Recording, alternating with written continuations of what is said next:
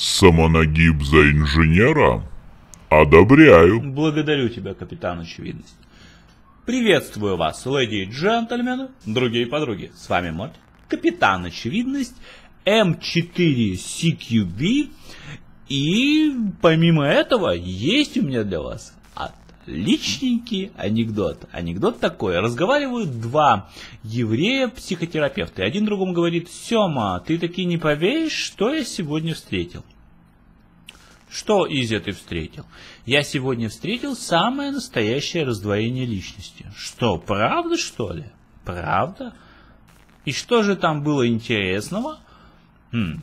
Самым интересным было то, что я смог убедить каждую личность заплатить за сеанс. Да. Вот это бизнес, да, был бы.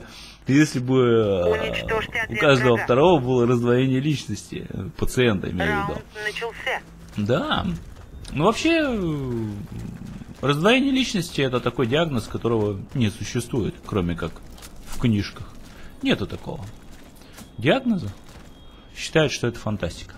Вот, но мы не об этом сейчас. Мы сейчас о том, что надо бы понагибать. И нашего уже нагнули. Некто хитоубийца. Во!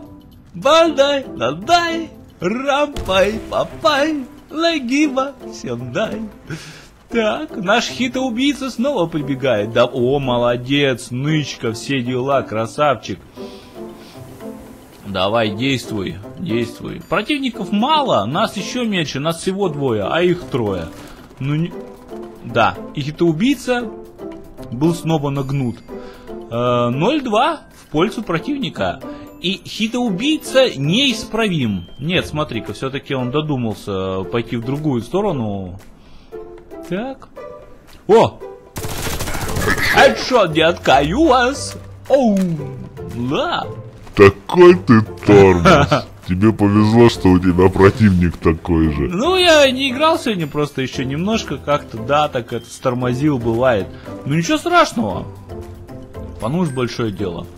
Мы все равно справимся, все у нас получится. М4 CTB вы просили, чтобы я поиграл с этой пушкой. Играл я за все время, сколько у меня существует канал, с ней всего лишь один раз. Это было давным-давно. И в таком у нас было шпионском стиле, а сегодня просто позитивном стиле попробуем показать с ней что-нибудь интересное. Сколько-нибудь, так сказать, эффективную игру. И я не исключаю, что у нас это получится, да. Нас уже трое.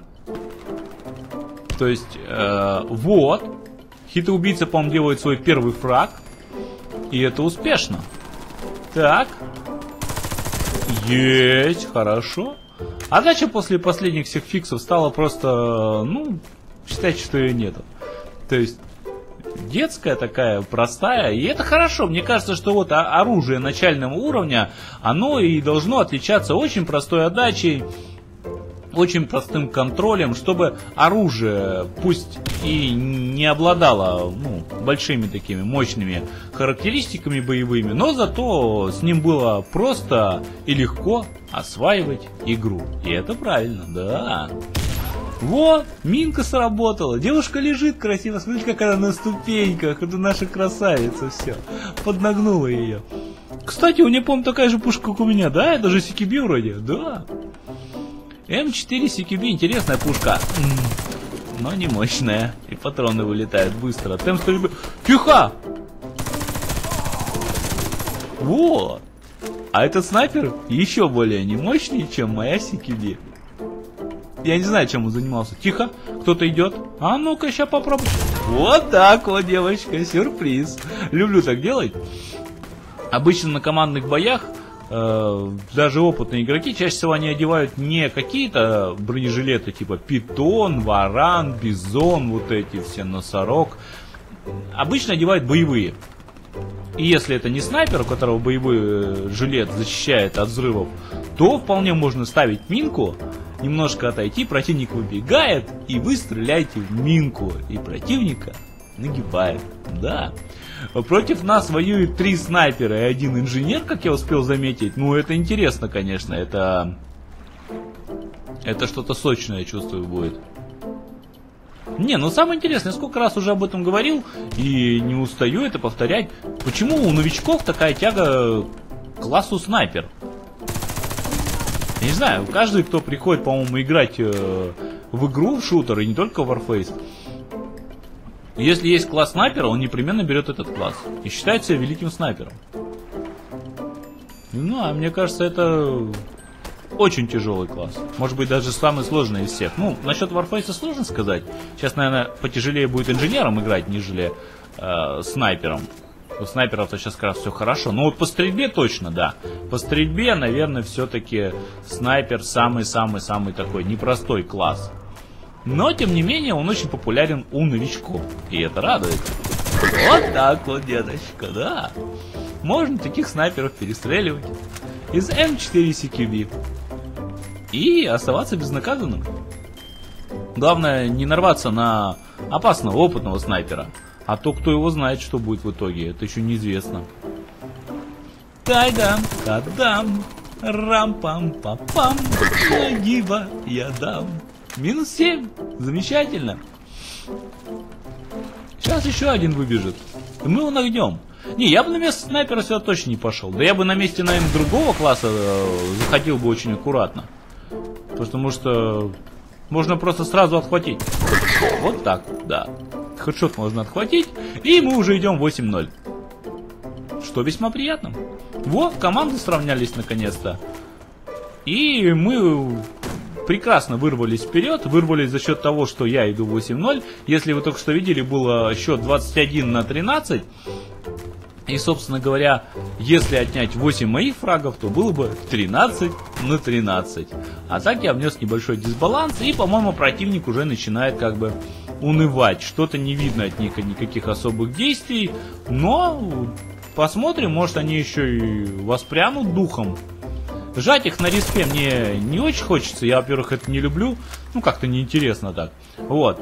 А во-вторых, не очень-то для этого карта подходит. То есть тут зажим на респе такой, знаете, еще неизвестно, кому от этого лучше. По-моему, тем, кого зажимает, тут даже комфортнее. Можно просто выносить всех зажимающих, да и все. Вот, и наш там человечек пошел, он сейчас люлей получит, он даже см смотаться не успеет. Нет, успел, смотри-ка, убежал. Так, не получилось у нас вот этого человечка пострелить, потому что его нагнуло быстрее, нежели я увидел его. Тихо! Вот так. Давай, давай, давай, давай, давай. Нет, нет, нет. К сожалению, даблкила не получилось. Но, опять же, все нормально. Минимум одного я забрал. Я считаю, что это успех. Вот так вот. Еще один. Да. Серия один с фрагов. Вот так. Тихо, не, не. Начало положено. Капитан Физ, да это не будешь начинать. Так хорошо шло. Вот я так и знал, это твои мысли. Вот, о чем я и говорю. Вот так. Все как Иди и должно в баню, ты каркать любишь. Сейчас начнется вот эта черная полоса из-за тебя. Куда ни выйди, меня ноги будет поджидать. Так нельзя, капитан очевидность. Ты должен болеть за меня, должен там наговаривать. Пусть у Мортида все будет хорошо, пусть он нагнет рачишек. Ты должен так говорить, понял? А не так, как ты это делаешь. Блин, вот медик от меня убежал недобитый, чуть-чуть у него было хп, он смылся. Да, где-то он рядом возле здания, надо быть аккуратным. Вон его нагнуло. Молодцы, молодцы наши ребята. Наши тоже вроде стараются. Конечно, убив... умирают очень много. Но, с другой стороны... Тихо, тихо! Мало того, что ты тормоз, ты еще и слепой оказываешься. А я что-то не понял, да, как кто из них, что-то я запутался, даже и не думал, что это... Вот. Никогда раньше летающих раков не видел. Пошел ты в баню, что ты сегодня такой активный? Раков? Я расслабляюсь, понимаешь ли. Я уставший сегодня и решил немножко э, просто поднагнуть для души. А ты начинаешь раков не видел он летающих. Как только ты в самолет сядешь, в зеркало посмотри, там вот тебе летающий рак. Да. Рам-пам-пам-пам. Что-то дистанции большие. Надо бы вообще это... Двухкратник поставить, хотел сказать. Да, да, уже не надо ничего ставить, уже можно без этого. Блин, что-то я умирать начал, что за фигня? Так хорошо. Хватит умирать уже. Э, Давай, по углам и врубай скилл. Может ты и прав, надо, правда, по углам врубить скилл.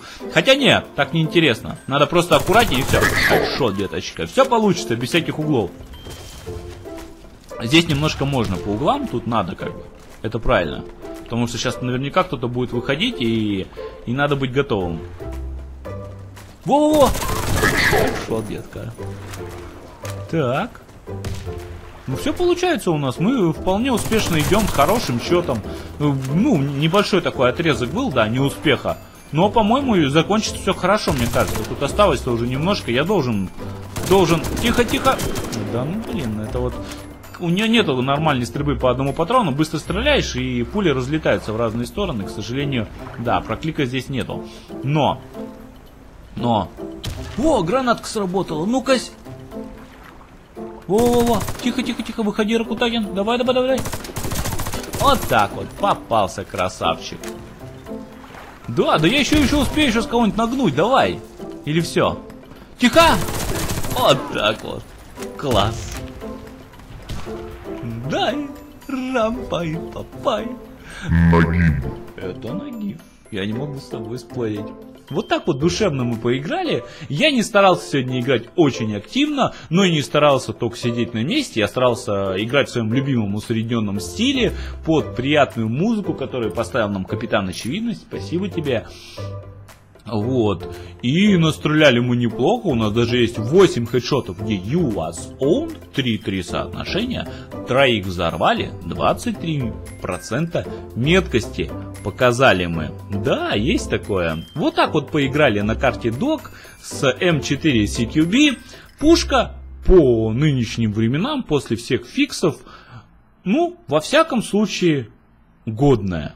Поиграть с ней можно иногда, даже на ветеранах. Конечно, выходить на ктары или что-то такое не стоит, перестреляют однозначно, но это уже не та М4 CQB, которая была раньше. С этой нагнуть можно.